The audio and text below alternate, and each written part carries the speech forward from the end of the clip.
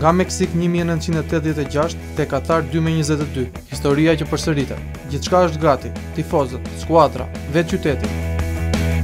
Në Tiranë, Shqipëria pret Poloninë.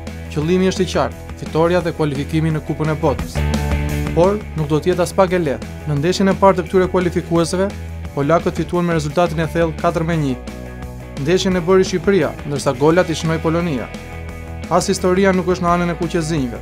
Ndeshjen e parë zyrtare, në vitin një mijë e nëntëqind e dyzet e nëntë, Shqipëria e ka humbur ndaj Polonisë me shifra dy me zero. Madje, edhe në kualifikuese për Kupën e Botës nuk ka dalë mirë. Në dy përballjet në Meksikë një mijë e nëntëqind e tetëdhjetë e gjashtë, njërën e ka nxjerrë në barazim dhe në tjetrën është mposhtur. Ndeshja e parë e luajtur në Varshavë nuk pati fitues. Ndeshja përfundoi në shifra dy me dy. Bedri Omuri dhe Agustin Kola shënuan për Shqipërinë, ndërsa, në takimin e luajtur në stadiumin ikonik Qemal Stafa, që tani ngrihet Air Albania, fituan polakët. Zbigniew Boniek ishte i vetmi që kishte gjetur rrjetën në atë përballje.